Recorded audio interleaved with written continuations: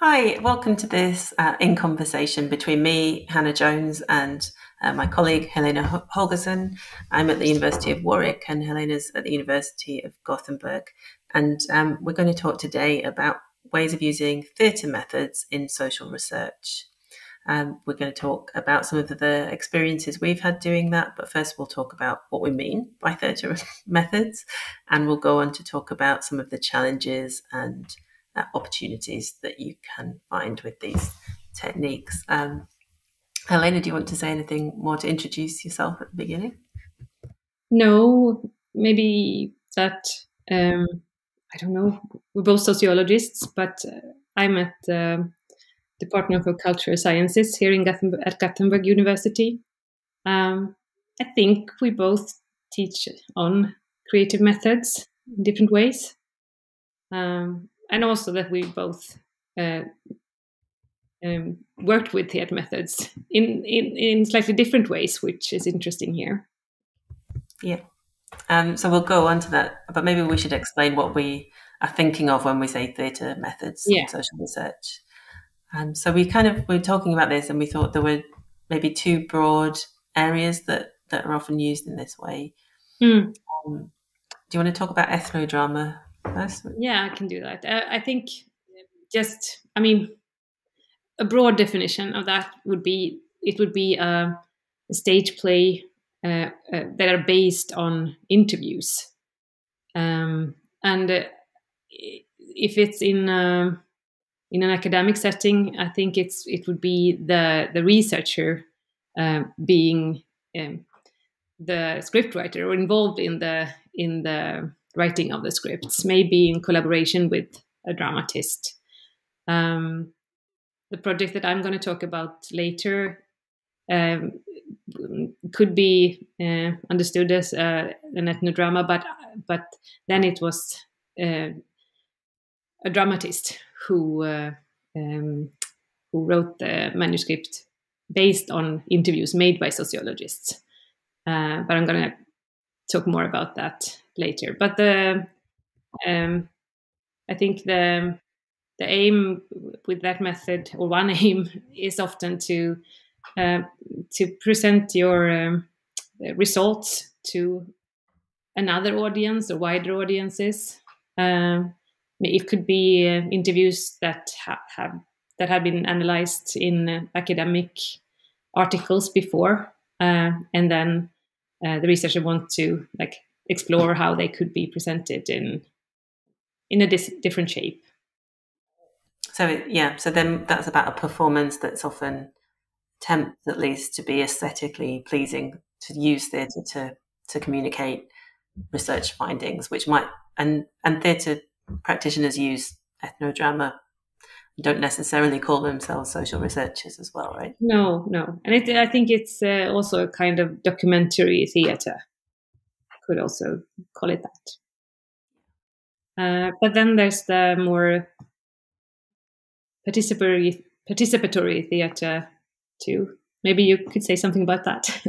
yeah, so that of course there's crossovers, but um, some of the the ways that researchers have started to use um, or have long used co-production and participatory theatre is to work with research participants, so the people we're trying to find out about. So moving beyond not calling them interviewees to calling them participants to actually trying to produce something together um, often calls on theatrical kinds of methods to get people to to speak and make up stories or tell stories that exist together um, so that they're writing the p- play more directly together or even not writing a play but practicing and telling stories together without necessarily an audience. Mm.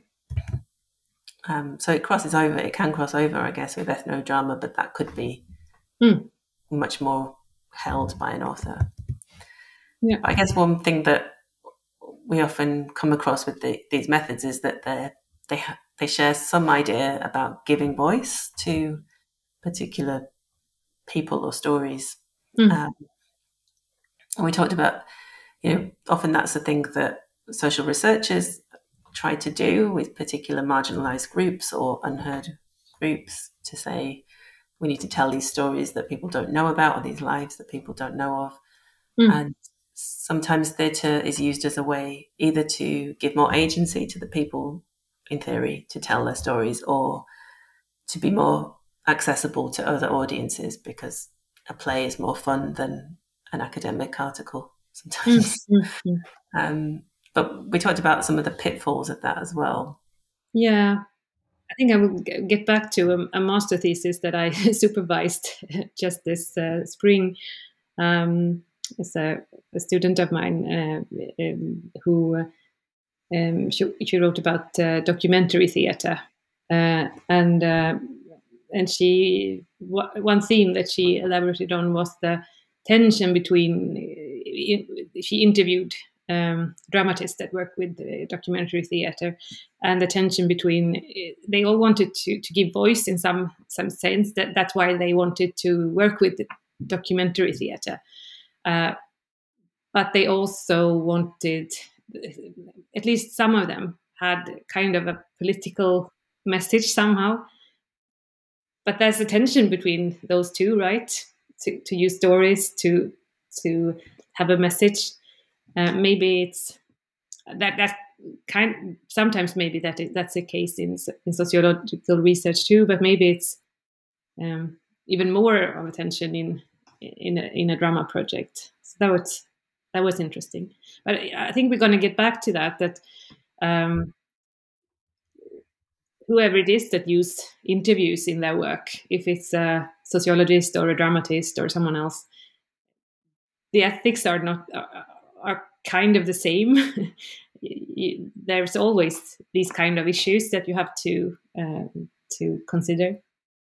Yeah, and the questions about whose story it is, where, what's relevant, what's not relevant, the yeah, whether the person who told the story, whose story it was originally, mm. um, would see the same things in it as a researcher or a dramatist.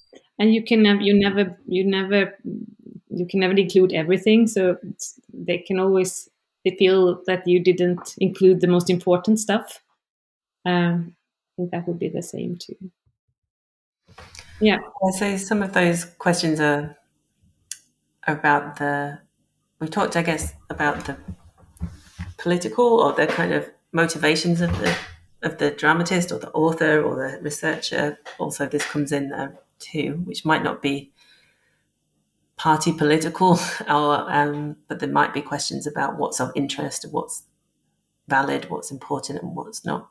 Mm-hmm. Um, and some of the theatre traditions that have sort of filtered into other social researchers' work are around um, Boal, are kind of drawn from traditions of Boal's theatre of the oppressed, where mm-hmm.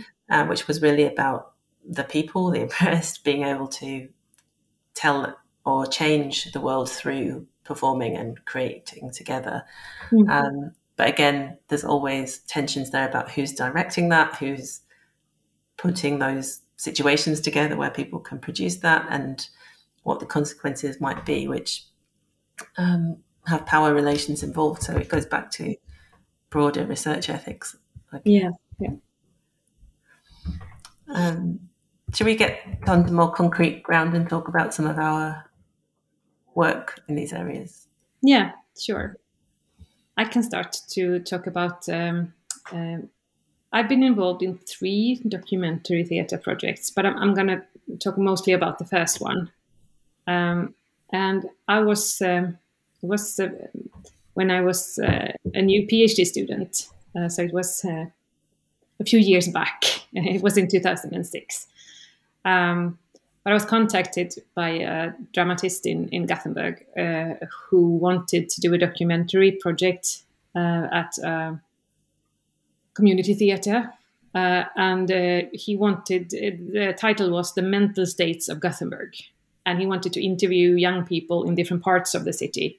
Um, and the main question he had was Is there a, a a, situation or an event in your life that you would like to see performed on a theater stage.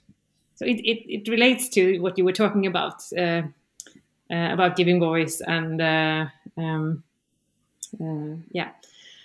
So and then it, he also had this very uh, like very uh, big questions about what's the meaning in life and what do you want to accomplish here on earth and so on. And uh, but we also we helped him do, helped him with the questionnaire uh, uh, uh and the the questions. And so we pinned it down to more concrete questions to if people could get examples of situations that they've, they've been in that they wanted to talk about in relation to those big issues.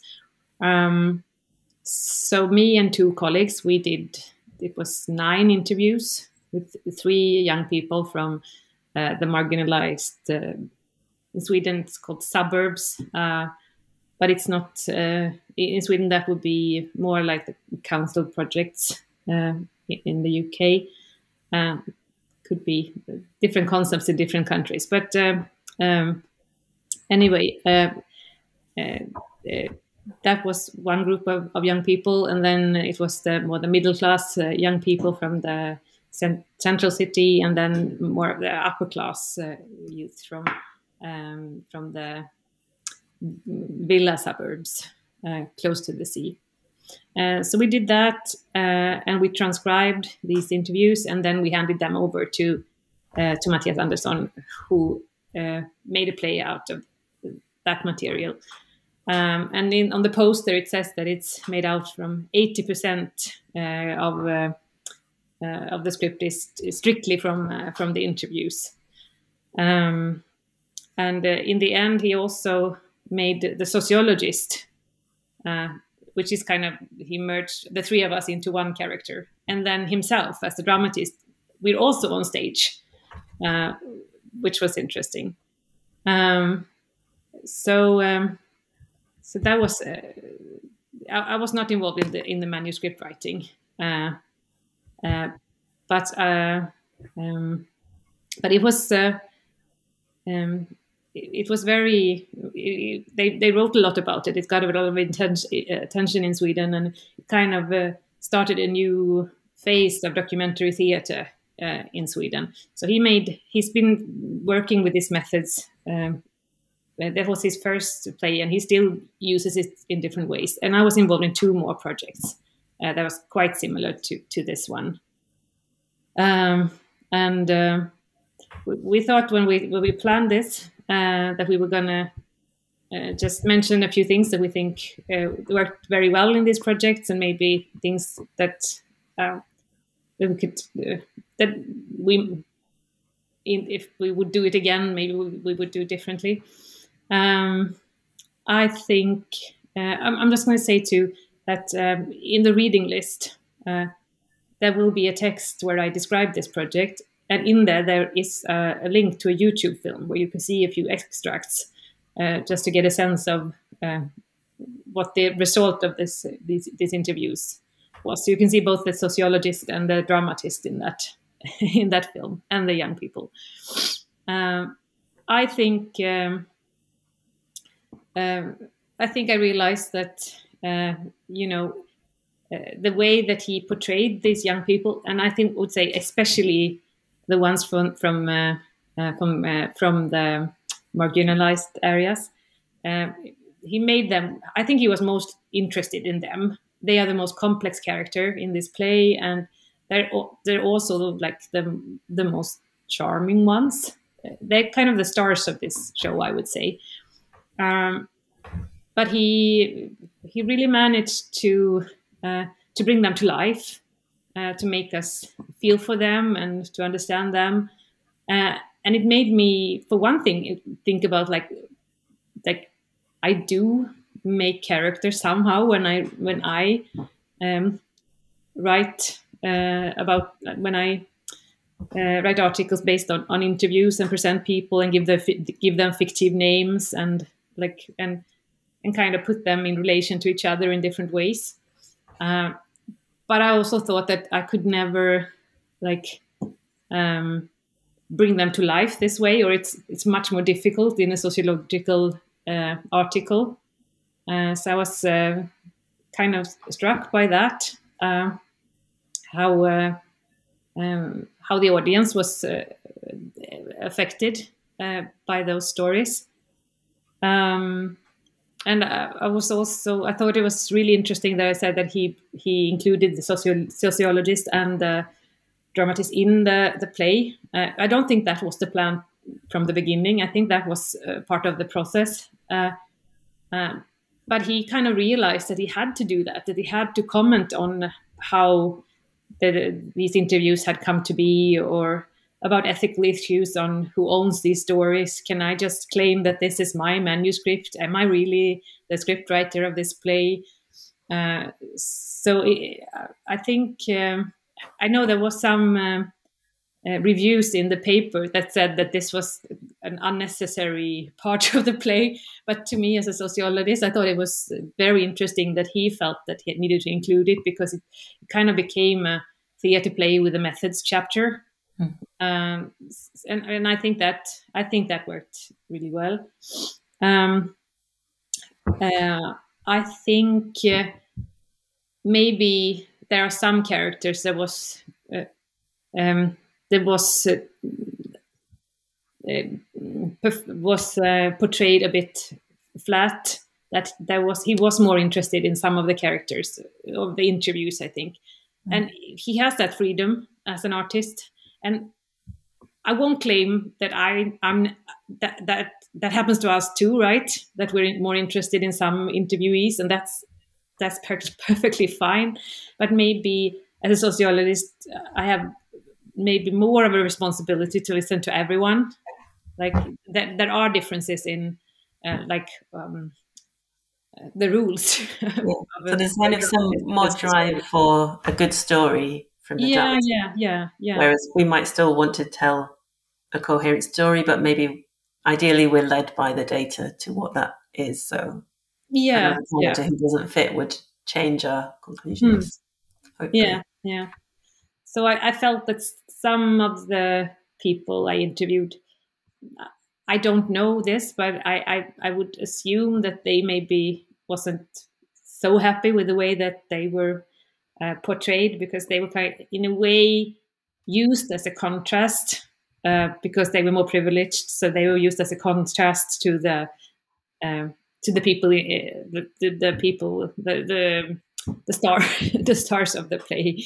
Uh, so um, so yeah, I, I, thought about that, um, and I also as I don't think that's a critique of the play really, but I, uh, to myself I thought that if if I ever would be involved in such a project again, maybe it would be interesting to at least somehow be part of the script writing as well. Maybe um, because I mean, it was the collaboration, but it was uh, it was also kind of uh, just handing over interviews. Um, so that I think that might be interesting thing to um, to do if I was to be involved in such a project again. I, I think that's uh, interesting because you also said you don't want to be the artist. So yeah, yeah, and and I also I also and I will get back to that. But I think what I also thought a lot about in this uh, uh, throughout this collaboration was that like that both the sociological craft and the artistic craft needs to be respected, and I have s- such respect for for his craft. So it, it's not that I wanted to like to um, maybe I want maybe it's just maybe not to be so involved, but maybe to be uh, um, to get insight, maybe to get to like see the method transparent yeah. project yeah. Uh, process. Uh, uh, it would be interesting to, to see how how the, the anal- analysis came to be. I don't know. Yeah, uh, that's what I I thought about. Cool. Um, and your your project was quite different. Yeah, much more. It did result in a performance, but um, not a professional one. And a lot of the work was about devising um, and talking about ideas through mm. drama. So it was based. It was a couple of years ago now, um, in 2018, and um, I was I'd worked on a project with a lot of a group of colleagues, which about um, how the UK government communicates about migration control There's a book that we wrote together called Go Home. Um, and that followed lots of different kinds of stories. Um, but we were interested, um, a colleague and I from the project, Yasmin Gunaratnam, wanted to kind of follow that up a bit more. And we worked with a com- company called Act Real, who have developed the various techniques of working with researchers, academic researchers, and drama techniques to do kinds of dissemination and, and different kinds of projects. Um, so they were the theatre people, and we provided them with kind of the format and the idea, and they developed 10 weeks of working with teenagers in schools. So, um, two different schools, and about 10 or 12 students in each school, aged 13 to 15, would come weekly to workshops for 10 weeks. And so, what um, they would work, first of all, they did some theatre warm ups. That was quite, partly the theatre was a exciting thing to do more than going to workshops on migration studies. Um, and then um, they also learned something about about the kind of ways that migration control work and how it affects people in the UK. Um, and and Ida Ida Person, who was one of the Act Real uh, founders, developed a script. So she used our data. So she had some of our transcripts. She'd read some of our publications, and so she had an idea of what we'd found, but also some of the raw data, the, the verbatim stories of of people we'd interviewed. Um, so she devised a really loose script that the young people then workshopped, and they were in these two different groups. So they worked on it. They did the same program, but they came up with different versions of the play. And it was using some of the direct transcripts, like Mattias did, but also using some really surreal techniques. So she had a, a character who was the border. So one of the actors played the border and shouted at people, and people responded to the character. And the young people developed that. So they had a starting point. They took things out, they put things in. The two plays ended quite differently. One with the border being pushed around and pushed to the floor and and then saying what now and then the other one with the young people kind of making their own statements from that were that not from the characters or the the people we'd researched before, but what they thought about the issues we talked about. And they were all different statements. So what we were doing was using the the process of theatre of being able to speak, talk, empathize with other people through through acting, and also being able to and learn about other people, but also being able to sort of put your own interpretation on that in a very facilitated way. And they both schools did a performance at the end to their friends and family.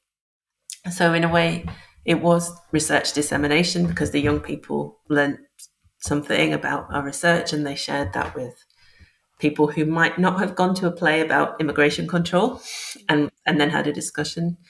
Um, and but it was performance, but the I guess in terms of the the weaknesses or the ways the challenges of doing that kind of work is it takes so much time and investment and, and resources from everybody involved. Mm-hmm. So there was a 10 week program, which is a lot for young people of 13 or 14 to stick with. They had to learn lines. They didn't all manage to learn their lines. Um, there was the theatre practitioners and there was the researchers all kind of helping to facilitate. And of course, the teachers who were also involved.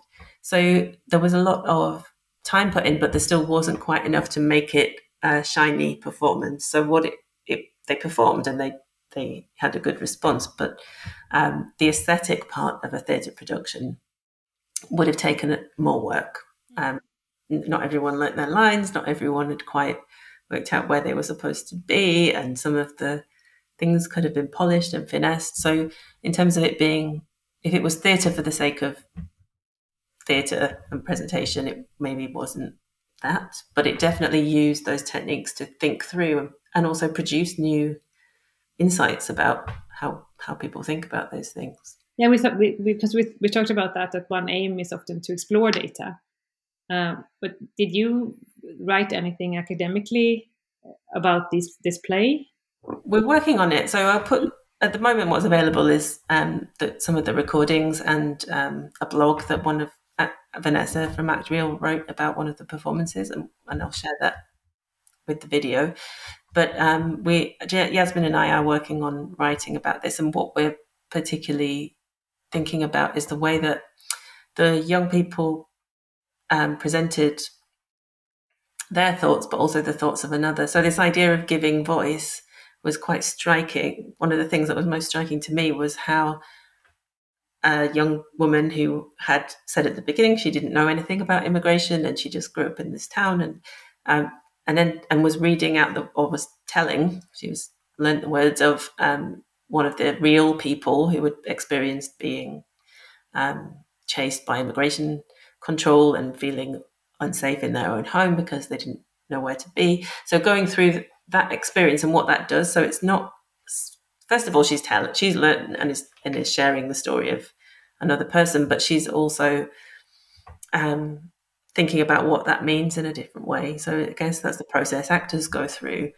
But then they were also allowed to put that in context themselves. So we were learning about how um, those young people, some of whom had experience of immigration control, some didn't, um, how they made sense of that together and what they then thought about the different kinds of stories, including anti-immigration stories that were in the play and in our research. So include, you know, it wasn't just the voices. The whole the research originally was not just the voices of um, people subject to immigration control, but also people who were worried about immigration, also um, officials involved in the process. So it was a way of un- the young people got to understand and analyze, and we got to see what that did and try to think about that process of, of analysis that they're doing in a more everyday or participatory way. Mm. So it has all these really interesting. um, but yeah, I think it, it's very um, intensive kind of work, and that's one of the things um, to learn about, to think about these methods as well. Like, what are you getting into when you when you decide to use theatre methods, and why? Um, as a, as a social researcher, I mean, yeah, we talked about how people are using them currently. Hmm? But do you think we've we've learned much from the projects we've done about about social research itself? Yeah, um, that's I think that's a that's a common thing with our experiences from working with theater methods. Uh, that we like learned a lot about how, or we like got, got to reflect on how we usually work and and and how how that um, differs. But what uh, what then, if you could summarize, like what worked well, and is there something that you would have do would have made differently if you you'd ever do it yeah. again? Yeah, I mean, I think it worked. I mean, it worked as it seemed to work well as a way of involving people of that age over time in in something in a in a more lengthy process than a, just a, a class talk or something.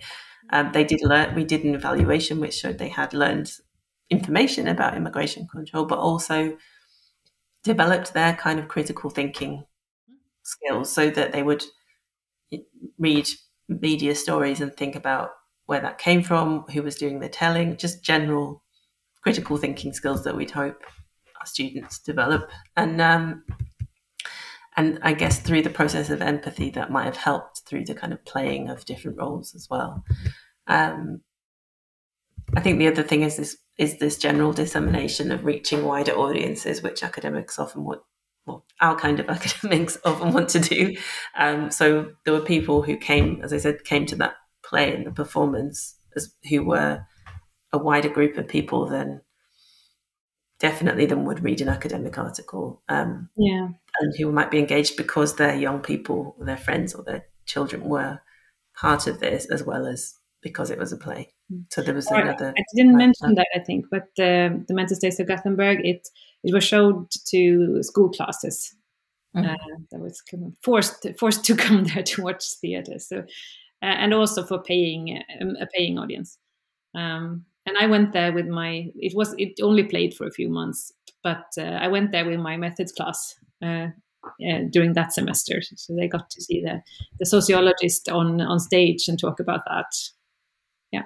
So there's all those parts of the of the of theatre work that um, doing the working out the script or the play or however it's devised and then performing it, and then also the audiences that reached, which might and our research audience might be wider than the people sitting in the seats in the theatre. But I think so. I think those elements are helpful. That's often what attracts social scientists to putting their work into Mm. theatre, often in a very simple dissemination kind of idea, but um, it can also produce this new knowledge and transformational thing, even if there isn't a final performance. Mm. Um, but I think that what that part of the work especially Mm. needs, I think, in terms of what could have been done differently, it, just needs that time and attention and engagement, which is very um, resource intensive, and we don't necessarily have the time to do, but also the expertise of the Mm. the dramatist, the facilitator, the the people which the social researcher might have as well. But as we've said before, that why would you, you've got particular kind of expertise? So that collaboration is is a challenge um, for in any of this kind of work. I think that's the kind of lesson about broader creative methods as well, in terms of collaboration and having shared goals. One of the things we've talked about before around this is the aesthetic side of creative methods and how that fits with our our goals. Mm. Mm. Um, I think um,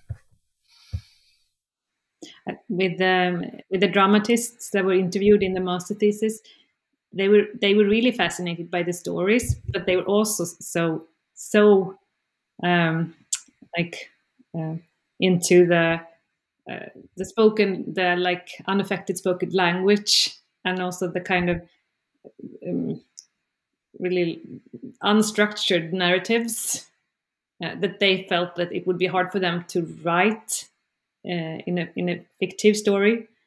Uh, so it was not just the the, uh, the content of the stories; it was the the shape of the stories that they that they uh, wanted to talk about in those interviews.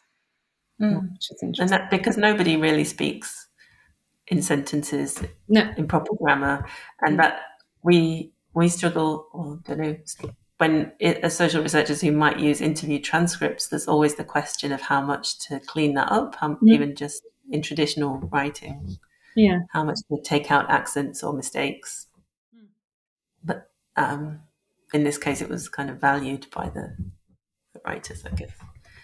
I think, um, yeah, one of the things that those is not just that the play makes it um, visible and and easier to engage with, but it might make stories more real through the through the aesthetic of drama. Through you were talking about the uh, the young people becoming the the hero of the story and a, a Yeah. real person that someone could care for.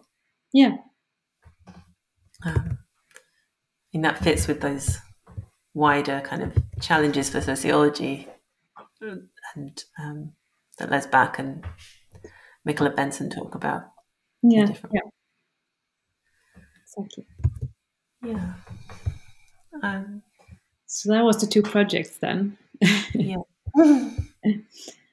Um, and then we we thought I think we've been we touched upon that, but we were also when we discussed this beforehand, like the wider lessons that we learned from this. Yeah, I mean, I think we talked about some of those, haven't we? Um, The the questions of um, aesthetics, um,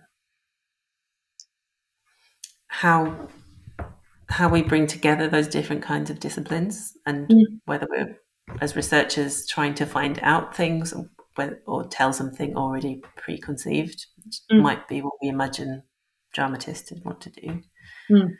Or vice versa. Um, what else? What do you, else do you think we've learnt from this work? No, I think um, I think generally it could uh, it could uh, about the like the importance of uh, um, like maybe presenting your your work in different shapes. Maybe it could be theater. It could be like writing in different uh, in different formats for different audiences.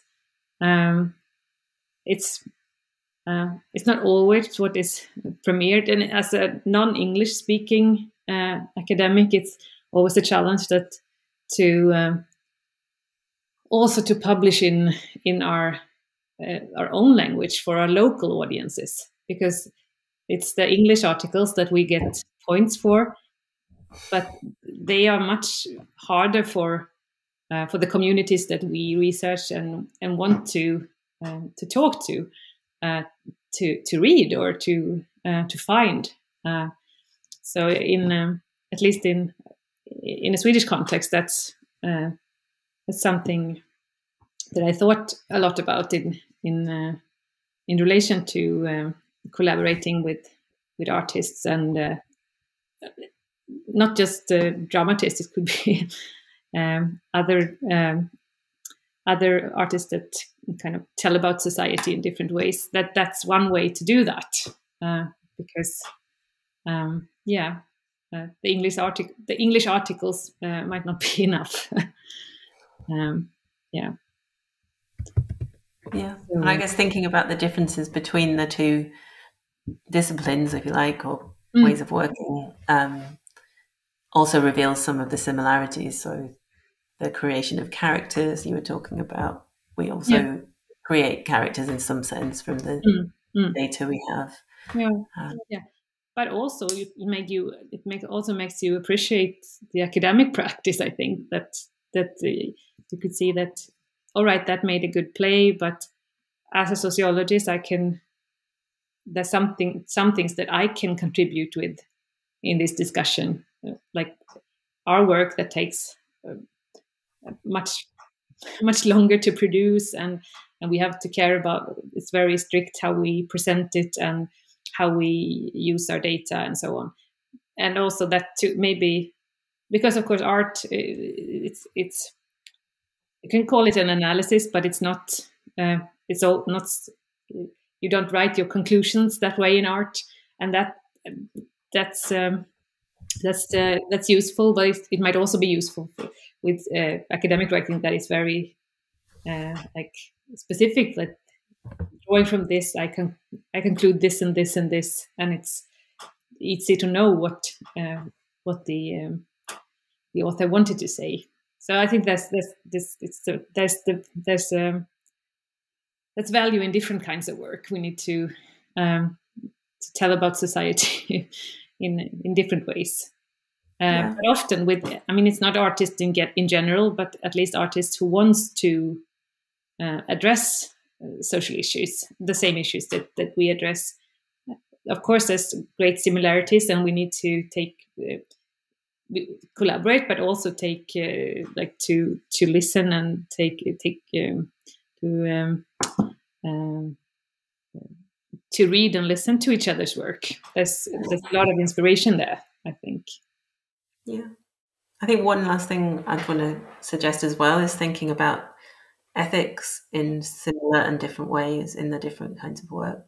And the things I would think of would be the kind of realism of either drama or social research. And as sociologists, our expectation being to anonymize um, participants, um, whether that how that works when people can recognize themselves or not, um, what that means in a in a more fictionalized or more docudrama piece of work, and how people might see themselves. And on the other hand, but related questions of power. So um, when we think about when we fill in our ethics forms and we think about whether this might do any harm to people and think about you know whether that's material or emotional if we're talking about sensitive subjects.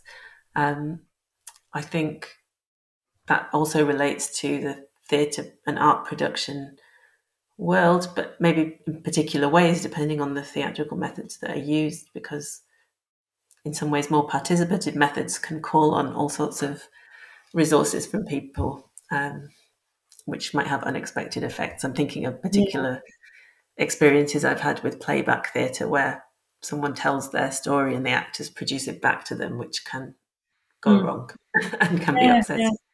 I also think that that I, I can really see that the the methods training you have as a sociologist uh, that's it's very it's it's very useful and, and you can see that artists may have to deal with the same ethical issue but maybe they don't have that training that that we have so i think uh, there's really a I, I think there's a that's a, a value in collaborating with sociologists in this project. Oh, yeah. that's a good way to to start to wind up. yeah. We were going to suggest some tasks for people who've managed to watch to the end. Um, you want to introduce? Yeah, we were talking about this. It's, it's a bit difficult method to kind of to to just um, have like student tasks. um, yeah, given all I was saying about the resources and time and ethics mm-hmm. involved. Um, but our suggestion um, would be to you um, use a transcript from some research, so maybe two pages of a transcript from an interview you've done, or using examples that we'll share with this video. Yeah. Um, to look at it first as a researcher, so to think, to read through it, think about what's interesting, where you might follow up, and then secondly to um, with another student, ideally, to read that through as a script. So to try to you might not be an actor and it's not necessary. You don't um, need an audience. no, you don't need an audience and you don't need really any drama skills.